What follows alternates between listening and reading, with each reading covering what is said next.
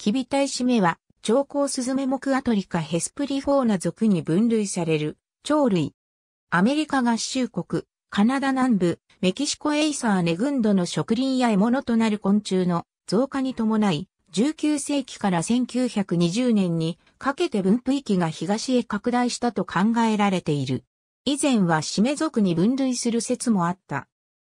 2012年に発表されたアトリカ93種のミトコンドリア DNA、各 DNA の分子系統解析では、イカル属イヤフォーナシメ属、本種を含むヘスプリフォーナ属、ハジロクロシメなどを含むマイスロビス属は禁煙で、ミトコンドリア DNA の分子系統解析では、ヘスプリフォーナ属が、各 DNA の分子系統解析では、イカル属がシメ属の姉妹群という解析結果が得られている。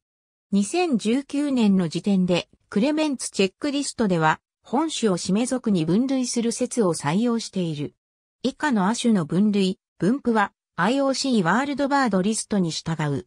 2018年の時点で生息数が数十年間で激減したと考えられている。減少の原因は不明であるが、獲物の減少、窓への衝突、感染症などによる可能性が示唆されている。ありがとうございます。